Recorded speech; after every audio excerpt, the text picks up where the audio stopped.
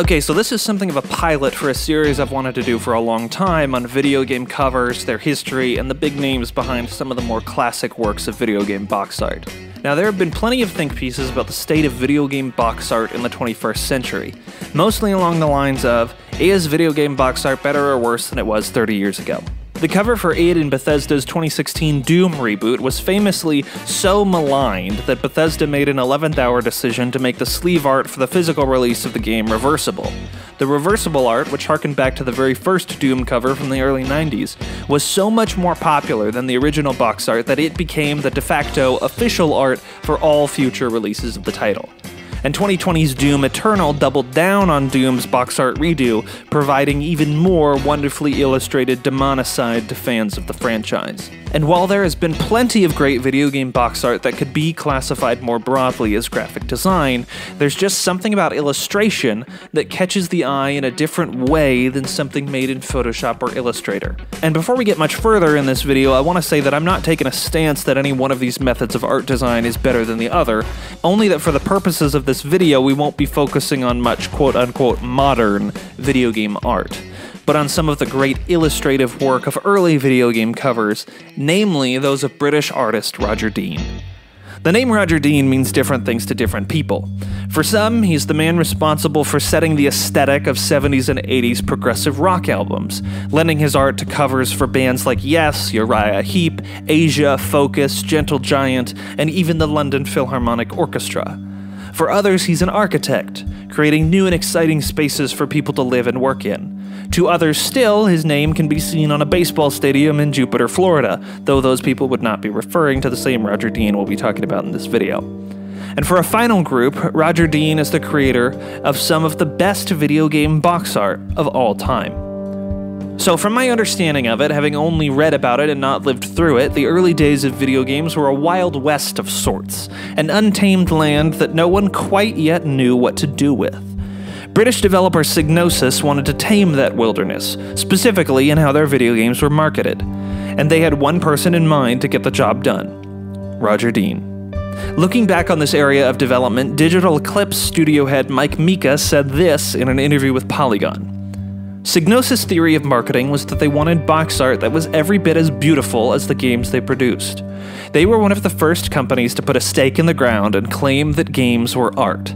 By aligning themselves with Roger Dean, Psygnosis not only found a way to stand out and not look like any other game on the shelf, they also inherited, by association, the prestige that came along with Roger's work and that prestige at that time was several decades worth of jaw dropping album covers, spread across millions of records all over the world, and a handful of instantly recognizable logos, chief among them the famous bubble logo for Yes, and a rather trippy logo for Virgin Records, cited as a favorite piece of Wilmot's Warehouse creator Richard Hogg, so there's some bonus video game trivia for you. People sought out Dean because they wanted his unique vision his work had an unspeakable beauty, an indelible quality that drew the viewer into the piece in ways that few others at the time could.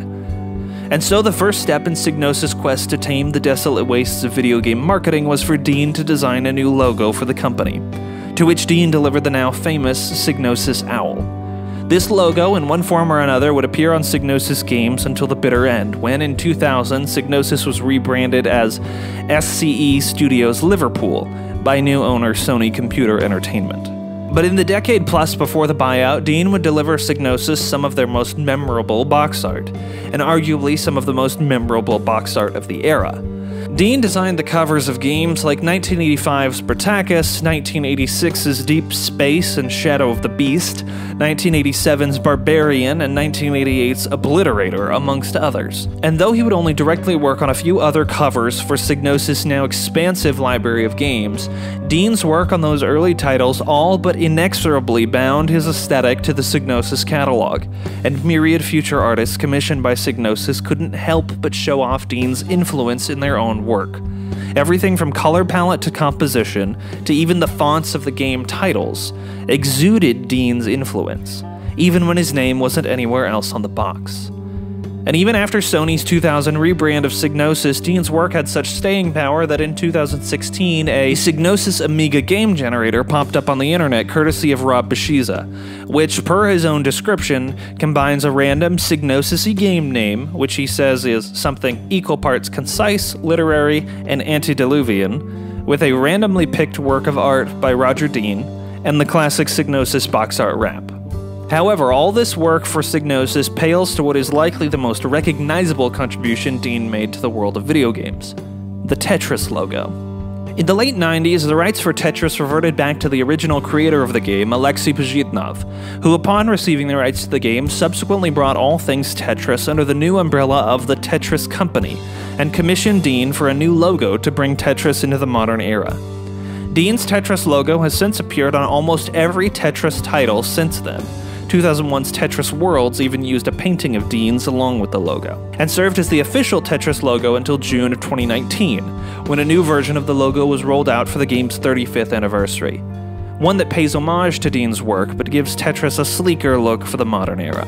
But that was the last time Roger Dean would formally work in the world of video games, at least until 2012 when Dean teamed up with the developers at Motion to release his own mobile game called Dragon's Dream featuring his own art and designs.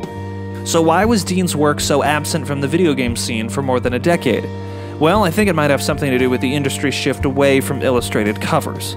But like I said at the beginning of the video, there's been more than enough think pieces about why this or that shift happened in the world of game art, so I'm not going to touch on any of that here. What I will do is share some of Roger Dean's own words on the subject, specifically a quote from an interview with It'sNiceThat.com about his work and the state of modern graphic design. Now, the quote is in the context of a discussion of album covers, but it could easily be a quote about video game box art. I like that otherness, and I try to achieve it. When you look at a lot of modern album covers, the art school obsession with Helvetica kind of undermines it. So instead of looking at an artifact that comes from another place entirely, you're looking at an artifact that has been caught and tamed and made corporate. The thing that I'm concerned about is the very simple dogma of modern design, and how it undermines quality in a surprising way. And it applies to graphic design, architecture, everything. That unbelievable necessity to strip everything down to its simplest form. I think it's against nature. It's a kind of religious zealotry. Now, in the context of Dean's own work, nowhere can this Helvetica approach to design be seen than in the 2016 reimagining of Psygnosis Shadow of the Beast. To look at the 2016 cover art next to Dean's 1986 version, I can't really even get into how much I'm not okay with it. Now, I was lucky enough to meet Roger Dean in 2018 at an art exhibition in Palm Beach and saw some of his works in person, and it was an exhilarating experience. None of the originals of his video game works were on display there, but there were plenty I recognized from my own music collection. There's just something about seeing these images that you've only ever seen the size of a CD or maybe a record in their original form that can't really be captured in words. It was incredibly inspiring, and I know I'm not the only one that feels that way about his work with legendary developers like Yu Suzuki citing Dean as an inspiration for Space Harrier, and former Ubisoft art director Pascal Blanche regularly singing Dean's praises on Twitter, even noting it was Dean's covers for Psygnosis that first introduced him to Dean's work. It's difficult to know just how widespread Dean's influence really is, but it is undoubtedly far. A 2002 documentary about Rogers' work even talks about how folks within the design department at Lucasfilm were passing around one of Rogers' books during the development of the first Star Wars film in 1977. More recently, Dean's work was even involved in a somewhat high profile lawsuit against Avatar director James Cameron, claiming that much of the world of Cameron's Pandora was lifted from Dean's own work. Regardless, Roger Dean has had undeniable influence on all sorts of art forms. There are a few permanent displays of Dean's work around the world, but he's actually been traveling more in recent years, giving more people an opportunity to see his works in the flesh. Now, if you're a fan of Psygnosis, old Amiga games, 70s prog rock, or even if you're someone who's hearing about Roger Dean for the first time because of this video, I'd implore you to seek out his works in person. You won't regret it.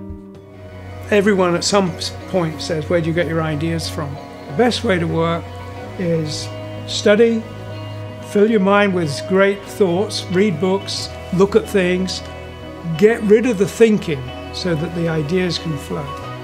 The real enemy of creativity is anxiety about your work. You have to learn to care, but not to worry, and then the ideas will do their job for you. Everybody, this is Jake Theriault with Subpixel. If you've made it this far, hopefully it means you enjoyed that video that you just watched. So if you could leave a like and a comment and subscribe if you're not subscribed already, that lets us and our robot overlords at YouTube know that this video is worth watching. So thank you for that, and we'll see you next time.